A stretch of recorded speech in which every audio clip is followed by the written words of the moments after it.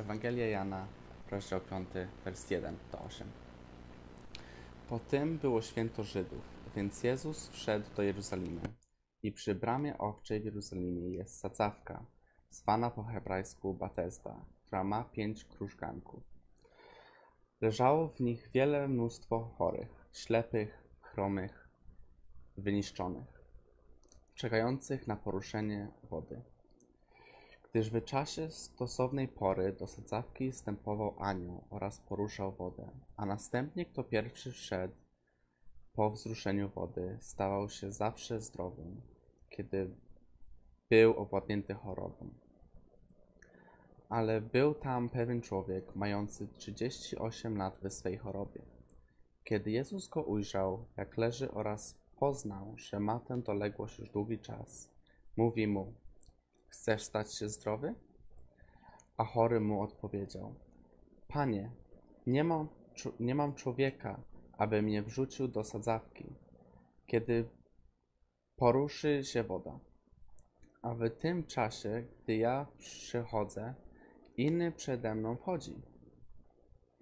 Mówi mu Jezus, wstań i zabierz swój materac i chodź. Glory. So, uh, so that was Adrian uh, reading from John chapter 5 in Polish. So let me read it again in English and then we're going to dig into the, the scriptures today. By the way, good morning. Uh, good morning, Adele. It's good to see you watching. I'm so glad that you're joining in. Let me read this from uh, John chapter 5, verse 2. Now, there is in Jerusalem by the sheep gate a pool, which is called in Hebrew Bethesda, having five porticos. In these lay a multitude of those who were sick, blind, lame, and withered, waiting for the moving of the waters. For an angel of the Lord went down at certain seasons into the pool and stirred up the water. Whoever then first, after the stirring of the water, stepped in was made well from whatever disease uh, with which he was afflicted. A man was there who had been ill for 38 years. When Jesus saw him lying there and knew that he had already been a long time in that condition, he said to him, Do you wish to get well? The sick man answered, Sir, I have no man to put me into the pool when the water is stirred up. But while I am coming, another steps down before me. Jesus said to him, Get up, pick up your pallet, and walk. Immediately the man became well and picked up his pallet and began to walk. So, it's worth just mentioning just here. Um, I, I, love the NASB version of the Bible. Um, in verse 6, when Jesus says, uh, when I think it's verse 6, yeah, verse 6, when Jesus says, Do you wish to get well? Um, interestingly, it's, uh, the word there said isn't actually said. It's Jesus is saying, is like continually saying. Jesus is saying, Do you wish to get well? So, we're going to be having uh, a short time in the Word of God this morning, and uh, I'm just checking out the clocks to make sure that I don't take too long this morning. Um, and then, uh, and then after we've um, after we've gone through the Word of God this morning, um, the plan is that um, we're going to play another song, and during that song, um, I would love it if you could respond uh, to what's being said. Maybe you have some more questions about what's being said, and maybe uh, maybe you uh, want to just respond by saying, "Yeah, I really believe that, and I want to follow Jesus." And uh, towards the end of my talk today, I will give um, everyone an opportunity to say, "Yes, I want to follow Jesus," because it's important that we have an opportunity to respond in that way. And so, um, and so, as I'm speaking, um, I want you to, um, I want it to be highlighted to you that um, Jesus, he, he loves you dearly. Um, and not only does he love you dearly, but he is for you. He's not against you. He doesn't hold anything against you, and he wants to come into a relationship with you today. So let's um, let's go through this word of God um, uh, from John chapter five. First, I want to I want to speak into this thing of um, I want to speak into this thing of um, Jesus is saying, and he is continually saying, is saying even today um, that um, asking a question to you today, and he's asking a question to me as well. He says, "Do you?" want to get well? Do you wish to get well? Do you, watching, do you wish to get well? Do you want to get well? And it's, it's all too easy that we sometimes look at this and, and we look at um, scriptures like this and we say, well, you know, Jesus um, Jesus doesn't love me because um, because I've done so much wrong, and so of course He's not going to heal me. So why bother praying? Um, maybe today you're feeling like um, I don't know. Sometimes we think um, maybe he's got bigger things to deal with today. Uh, you know, the world is uh, is really, really aching, and COVID nineteen is spreading across the globe, and Jesus has bigger things to deal with than me. Well, the fact that this fella just here was sick for thirty eight years was it thirty eight? I think it was was it 38, 36, 38 years. Um, he was sick for 38 years, which means that in, in that culture, um, being uh, being poorly, being um, like unable to do things, meant that he would have been like the lowest of the low in their society. People would have literally um, like thought of him as less than trash. Uh, they would have thought of him uh, as as worthless wholeheartedly. And maybe today you're feeling like, hey, sometimes I just feel like you know Jesus might go to Pastor Darren because, of course, he's a preacher. So, of course, he listens to his prayers. Or maybe he goes to, I don't know, I almost said Mother Teresa, almost like I was putting myself in that sort of realm, but no, I'm nowhere near as holy and as, as close to Jesus as Mother Teresa was, right? Um, but um, but maybe you might think, oh, you know, maybe um, Jesus would answer the prayer of the politicians, or maybe he would answer the prayer of uh, of the person who uh, sits and prays every day for an hour.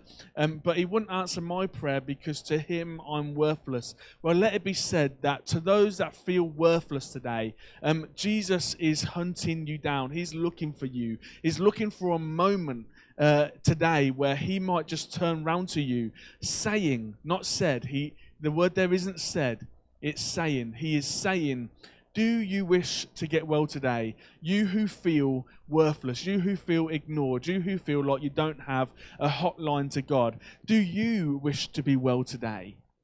Is that where you're at? Maybe, um, maybe it's something really massive in your life that is that has gone wrong, and maybe you feel like you're the worst sinner on the planet, or maybe you just feel like, hey, I've never even said hello to God, so why would He hear my prayer today?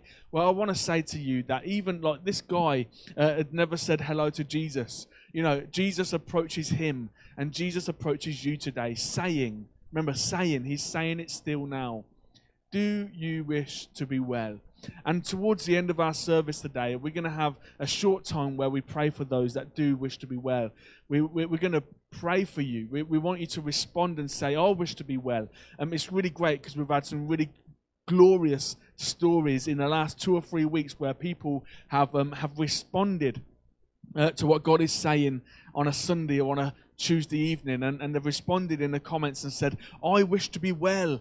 And then we've prayed for them and then all of a sudden, like Adele's not taking painkillers for her knee anymore, and she's able to take uh, the knee brace off. And then April is able to come off some of her painkillers for her back. Um, and then there's other people, uh, like I think Rose started sleeping again, uh, just normal sleep on an evening. She's been able to sleep ever since we prayed for her, uh, because the Word of God is living and active today, and that's the truth. He is living and active today, and He really wants to work in your life. He really wants to be part of your life today and He wants to have an encounter with you.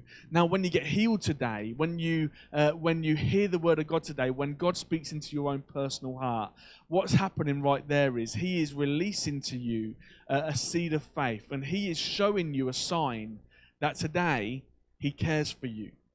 Today, He wants to meet with you. Today, um, He wants to show you and point you towards Jesus because Jesus is the author and perfecter of our faith.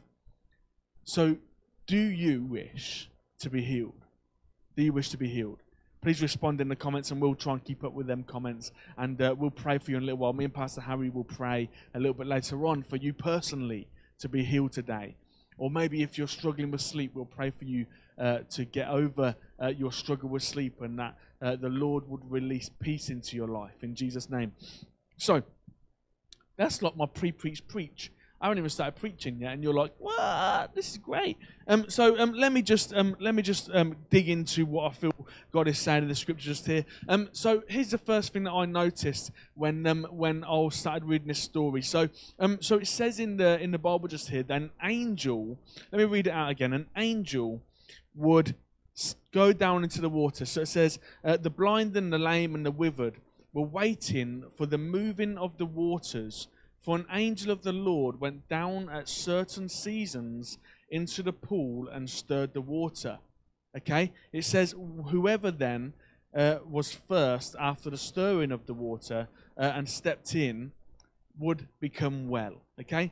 So, it's worth mentioning. I've done a lot of research this week on this, and um, and some people say that um, that this started happening at the birth of Jesus, and so at the birth of Jesus, all of a sudden, uh, people start stepping into this well because the well, uh, the, the pool, sorry, starts to be stirred at certain seasons, at certain times of the year, um, and and if you look at which um, times of the year it is. Um, I'll, I'll, explain a little bit more of that in a few minutes. But what would happen is um, people would um, would see this water being stirred, and uh, and then what would happen is they would they would get into the water, and it was a thing that was continually happening. Apparently, it stopped happening um, about um, 30 years after the death of Jesus as well, because it kept on happening. Uh, Josephus, a historian of the time, said that this was the case. People would go down into the waters when they were stirred, and the people believed that it was an angel that was stirring it. Interestingly, it's in our scripture today that is an angel that was stirring it.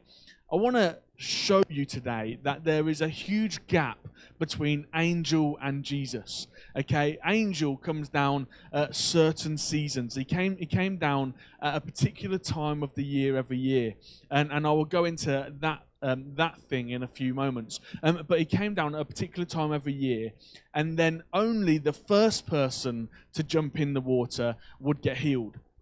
So, what's that leave us with? That leaves us with this notion of a load of people. Can you imagine? Uh, can you just picture it in your mind just now? A load of people uh, scrambling to quickly go and jump in the water, and some of them can't walk. Some of them are literally paralyzed. Some of them might be lis- uh, missing limbs and stuff. And you can imagine as the angel comes down, some might say in a, in a graceful, healing sort of way. Um, at the same time, there's a bunch of other people that don't get the opportunity, right? There's a whole bunch of people that don't get the same opportunity, and so and so the angel goes in and stirs the water, and only one person gets healed. I want to show you a scripture today, Matthew chapter um, chapter four, verse twenty-three, because. Um, Jesus is totally different to the angels. If the angel comes down three times a year, um, and I say three times a year because I've been studying it. Um, uh, if the angel comes down three times a year, um, and then Jesus comes down uh, quite often and is around us quite often, then uh, maybe uh, you want to read this scripture. Matthew chapter 4, verse 23 says, Jesus was going throughout Galilee, teaching in their synagogues and proclaiming the gospel of the kingdom. And listen to this He was healing every kind of disease and every sick, every kind of sickness among the people. In some translations, it says that he healed everyone he came into contact with. Jesus healed everyone that he came into contact with. And you're thinking, wow, how different, how much of a contrast between the angel and Jesus. And I know that um, for some of you guys, maybe you're into spiritual things, and maybe you might read some tarot cards, or you might uh, you, you might get a, a spiritual medium uh, to give you a, a, a some sort of reading or something, or or maybe you're into um to, to like paganism or witchcraft and stuff like that. But what I am going to say to you today is this: you may have found at some point just once that you heard a story about an angel healing one person, but if you come under the lordship of Jesus Christ today, then Jesus is able to heal all, and there's no limit to the amount of people that he can touch and no, no limit to the amount of people that he can heal today. In fact, I've written down three words in my notes today. I want to tell you about how um, omnipotent Jesus is or omnipotent. Jesus has no limit to the amount of power that he has. His power is without limits. Whereas the angel might only heal one person, Jesus can heal all. Uh, where the angel might be able to be a warring angel, you know. So there's moments in the Old Testament where a warring angel would come down and he might fight a battle, he might fight a war, and he might win a battle. But the Bible says that Jesus won't just um, won't just fight a battle. Oh no, Jesus, the warrior God, he will wipe away all of creation, all of heaven in one foul move because he has so much more power than the angels. In fact, it says that the angels and all of the things in heaven and on earth earth, uh, just like his footstool that he rests on. Um, and Jesus today, um, Jesus today is so much more powerful. He is un, he has unlimited power. And, you know, and, and as soon as I say that, I know Liam's thinking, oh yeah, a bit like uh, a bit like that guy off of that Star Trek, you know, unlimited power. No, Jesus isn't like evil and all that sort of stuff like that geezer. No, Jesus has unlimited grace and unlimited love and unlimited power in Jesus' name. He is so good. He has no limit to the amount of power that he possesses because what he says happens. The words that come out of his mouth are power in Jesus' name. He is awesome in power. He is glorious in power. He is amazing and totally like if we were playing a video game, me and my son, Liam would be saying, Oh, that Jesus, he's overpowered, uh, which means that he's got so much more power than anyone else. You know, it's a bit like if you're into Marvel and all that sort of stuff, you might go, Well, you know, Spider Man sort, not Spider Man, sorry, Superman sort of ruins it for everyone, really, doesn't he? He's sort of unbeatable. You know what I mean? Like, he's unbeatable. He's got all of the tricks, and he goes at the speed of light, and then like fire comes out of his eyes, and you know all these sorts of things, and you know he's, he's just he's just next level. He can even turn back time. Even so, Spider Man isn't as powerful as Jesus. Hallelujah. Come on. Hallelujah. I'm getting a bit carried away this morning. I'm loving this. Um, here's another word Jesus is omnipresent. Omnipresent, which means that there is no limit to his presence, which means that he can be in all places at the same time. That's what a lot of people feel uh, when, when they hear the word omnipresent. There's no limit to his presence. And where the angel could only come down, uh, um, uh, well, apparently came down once, uh, once every like three times a year and healed one person. Um, Jesus is able to be in all places uh, all of the time. And not just is he in all places, which means that he's here with me right now and he's there with you right now. It's not just that he's there and able to be everywhere, it's also that he's able to do that all of the time because he's outside of time and so he is um, omnipresent, which means that he can do that all of the time in all of the places. Um, but there's also no limit to the amount of presence that you can experience today. And maybe you say, once I felt a little bit of Jesus in my heart. Well, today I want to tell you that it doesn't have to be a little bit of Jesus. Us Pentecostals are always going, More Lord, more Lord, I want more of you, God. Well, here's the thing uh, if you know and if you've experienced the unlimited presence of Christ, then you don't need more. There is no more. You've got it all. You got every last bit of it. And maybe if you were just to open yourself up to Him and to open yourself up to His unlimited presence, then maybe you might just be uh, finding yourself in a place of. Oh, I tend to find myself in a place of overwhelming goodness. I, find myself in a place of overwhelming power, of overwhelming love. I find myself in a place of overwhelming healing, and He heals my heart, He heals my body. And that's who Jesus is because when He comes and He presences with us, we find that in His unlimited presence and in His unlimited power, we find ourselves floating into a place where we can experience unlimited grace and love and peace in our lives. And maybe that's what you seek today. And I want to tell you the answer is Jesus Christ the Lord God Almighty. Here we go. Let me tell you one more, and then I'm going to go on to uh, go on and go on to a little something else. And I'm really aware that I'm already like getting close to time. Anyway, one more. Jesus is omniscient. That means unlimited knowledge. He has all of the knowledge. He knows everything about you today. He names every, no, sorry, he counts every hair on your head. He knew you uh, before the beginning of the time. He knew who you were and he knows everything about you. And yet he loves you. And yet he loves me. Even though he knew uh, before the beginning of the time that I was going to be the worst sinner, I was going to be the, the, the worst person, I was going to be worthless in my sight and in the world's sight, in my community's sight, in their view, I was worthless. And yet Jesus knew me before the beginning of the time, and he chose to go to the cross that I might know his glorious power, his riches, and his wonderful grace.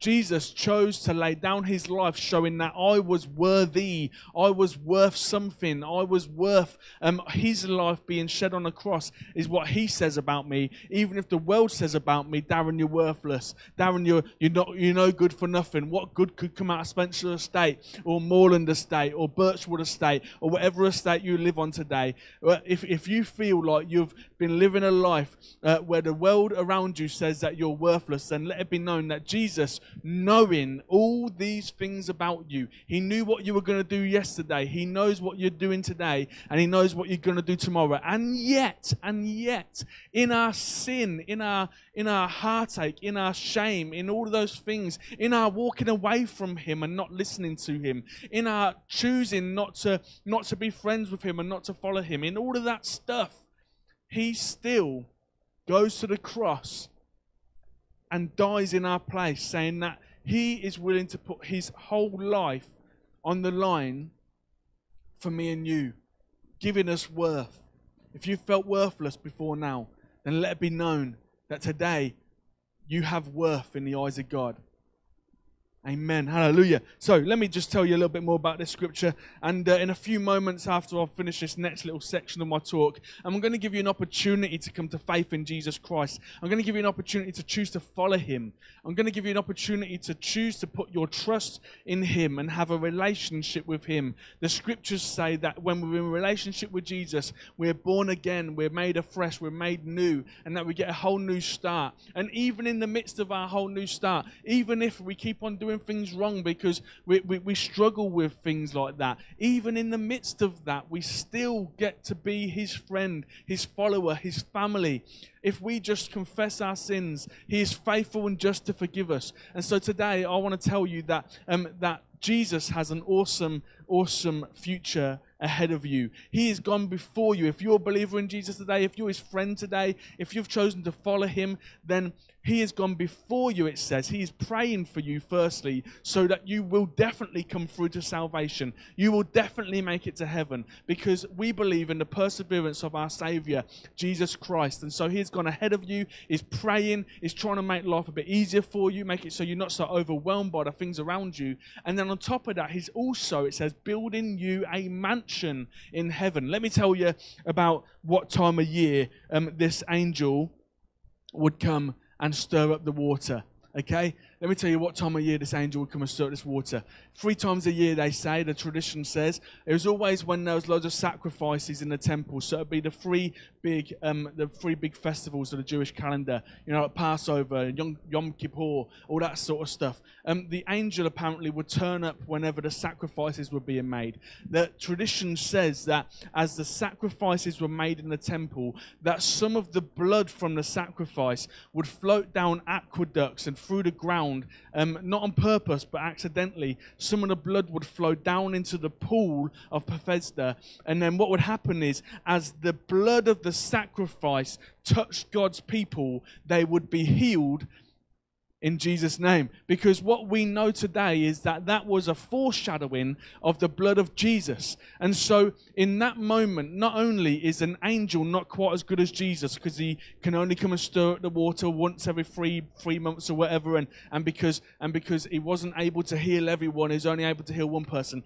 If we're saying it was an angel, then we can also point to, according to tradition, um, the uh, the blood sacrifice of the animals, and the animals could only cover. Uh, a certain amount of, uh, of your, of your uh, ill body. They could only cover a certain amount of, and if you're really into your theology, actually, they can't cover any of your sin anymore because Isaiah said that the Lord says, I delight not in your vain sacrifices. I do not, I do not enjoy your animal sacrifice anymore. I want you to have a heart that is sacrificed to the Lord Jesus Christ. And so essentially, what's happening here is tradition has it that as the blood from the sacrifice comes down into the pool, as it mingles with the water, people would get healed. So I want to read, I'm not going to read it, I'm just going to quote it. Isaiah said that it's through his it's through his broken body, it's through his blood, uh, because he was sacrificed, because he was broken, we are made whole. Essentially, in Jesus, we find our wholeness. In Jesus, his sacrifice, in his blood, that covers all sin, that covers all sickness, that even the rocks in the earth, they cry out for his salvation. The stars, they cry for Jesus to enter into his creation so that his sacrifice could forgive them of their sin, because even the stars, have gone against Christ. Creation itself has gone against Christ. That's what the thorns and the thistles were all about in the book of Genesis. And so the, the rocks themselves cry out for the Savior. The earth groans. Creation groans, waiting for the Savior. And so when Jesus' his blood, when his sacrifice uh, is taking place on that cross, the, the fact is, you don't need to jump in a pool to receive your healing. You don't need to go to church to receive your healing. You can just sit there at home, listening to the preacher of the word, listening to what God is saying into your life today, and you can receive the healing of Jesus Christ because his blood covers all of the things in your life, including your body, your soul, your spirit. And today, he wants to heal your spirit, he wants to bring you back to life. The Bible says this it says, and let, let me just say this in a few moments, you're going to have this awesome opportunity to say yes to Jesus, just in a few moments. Okay? The Bible says this Every single person has chosen to walk away from God. Every single person has said no to Jesus. Every single person has chosen to go their own way. Every man in history except for Jesus. And it says that we all need a sacrifice, some sort of sacrifice, in order to be put right with God. And the only sacrifice that will do the job for all of mankind, all of creation, the stars, the rocks, um, me, Darren, the sheep, the, the goats, my dog, Coco, um, who, whoever it is, wherever you are, the only thing that could put you right with God is an amazing, absolutely omnipotent, an omnipresent, an omniscient Savior dying on a cross. Because Jesus is so much better than the goats and the bulls. He's so much better than the angels. He's worth so much more. And so, with his sacrifice, we can be put right with God.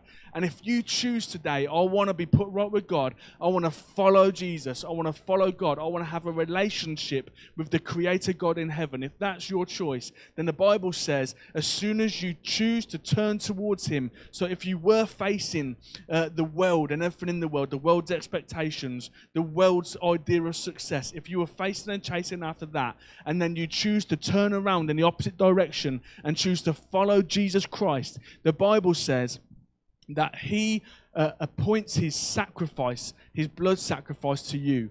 And that blood sacrifice pays for all of the things you've ever done wrong. In that moment, as soon as you turn from one to the other, what happens is you are totally and utterly forgiven of anything you've ever done. For some, what happens is their body gets healed as well. For others, their mind begets, like starts to get healed other things start to happen. Your life starts to change. You find yourself living in peace rather than drama. You find yourself living in love rather than hate. You find yourself living in in absolute like glory instead of shame. Man, I've been set free from all of those things, and I want to have you being set free from those things as well. So today, if you choose to follow Jesus instead of the world, the Bible says in that moment you're born again it says, because Jesus rose from the grave, it shows and gives evidence to the fact that he can raise up your spirit. Even after your body dies, you can be raised again to life, which means that you get eternal life. You get to keep on going. You get to, uh, the Bible says literally, as you die, you're made alive. Isn't that amazing that there's more to life than this place where, you know, we work all day, we work hard for, uh, for Boris to take our money off us in the form of tax. We, we, we pay our rent, we do everything else, and then we have like two quid left over at the end of the week. And why? What, what's two quid worth? Nothing, right? We can't do anything with that. It's almost like we're a slave to society. And today, Jesus is offering you liberation. He's offering you freedom. He's offering you healing. He's offering you heaven, where He's gone before you to build you a mansion.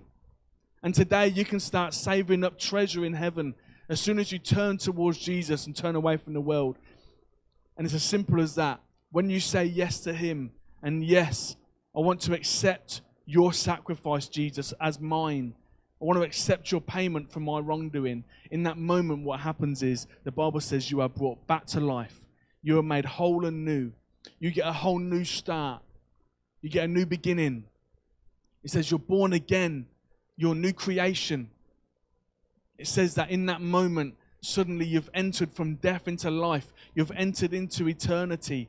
You've entered into God's kingdom and you're born as a new son or daughter of the king. And once you're born as a new son or daughter of the king, you can't be unborn as a new son or daughter of the king. That's it. You're in. Even if you carry on doing stupid things, don't matter. You're still a son or daughter of the king. And so today, I want to invite you in this moment. And in a few moments, we'll do some prayer and stuff. We'll have another song, and then we're going to pray for healing and stuff. I want you to respond to what God is saying. But in this moment, I want to give you an opportunity to come to faith in Jesus Christ. I want to give you an opportunity to enter into a relationship with Him, to turn away from the world and back towards Him, to start following Him. I've got this little booklet just here. I've had this here for ages. This is my um. I, I use this little booklet to help people to follow Jesus when they first start. It's ten little sessions, about half an hour each, where we just look at the basics of the Christian faith, the basics of Jesus, and who He is and who wants to be for you. And then what we do is we just follow through that book, and I help you. And that's what we call making a disciple. You become my disciple, or I become your mentor in the faith and then we go on a journey together. Eventually, you might want to get baptized in water. You'll love it here. We got a hot tub. but I want to ask you today you want to follow Jesus? Because he's so much better than animals, he's so much better than angels, he's so much stronger, so much more loving, he has so much more peace in him. His life is a life worth trying to follow trying to live up to, trying to copy, trying to emulate? Do you want to follow Jesus today? If you do, then your prayer is real simple today. It's as simple as today, God, I choose to stop being held captive by the world. Today, God, I want to be set free to follow Jesus. Maybe you want to pray that prayer with me. I want to pray that prayer with me just now. Maybe close your eyes if this is you. Put your hand on your heart. Jesus, today I choose to turn away from the expectations of the world. And I choose to turn to you. Forgive me today for the things that I've done wrong. And help me to live a life for you. Amen. If that's your prayer today, we would love to uh, help you along that journey. We've got loads of online materials. We've got some amazing, uh, like uh, little things like this book and stuff. We've got some, uh, like we can do some Zoom calling and stuff, and we can help you on this journey. But if today you've chosen to follow Jesus, um, the Bible says, "If you deny me in front of men, then I'll deny you in front of my Father," said Jesus. So today, if you ha- if, if you're saying yes, I'm going to choose to follow Jesus, you need to let someone know. You can let us know on the comments. You can let your neighbors know. You can let your mum know. You can let your daughter know. You can let everyone know. Let them know today that you've chosen to turn away from the world and towards Jesus. And maybe let them know that, you know, the best place to find yourself in Jesus' presence is in a place where God resides in amongst his people. The church, not a building, just a community, which at the moment is online. That's where we meet with God. So if that's you today, then let us know. We want to help you along that journey. In the meantime, we're going to play uh, one song. We're just going to play one song, and then uh, and then we're going to come back, and uh, we're going to respond to your responses. So please do let us know if you need prayer today, if you need healing. Um, we believe Jesus can heal today. We really do. Remember, He's omnipresent, He's omnipotent, He's omniscient. He knows you, and He wants to heal you today. So if this is you, then respond. If you'd like to ask any questions about my talk, then respond. Ask the questions, and me and Pastor Harry will aim to uh, aim to answer some of your questions. Thank you so much for joining in. Uh, we're going to have another song. Amen.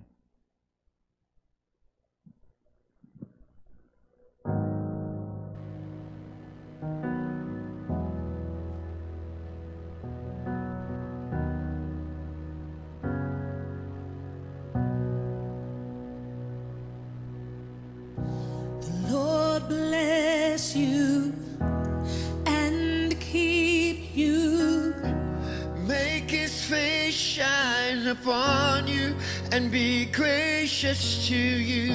The Lord turn his face toward you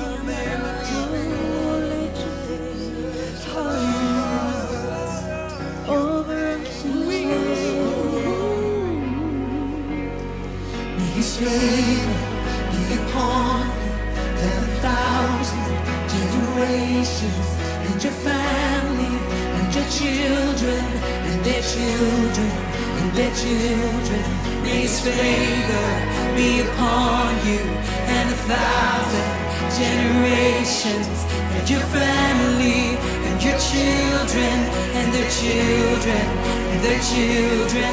Praise, praise.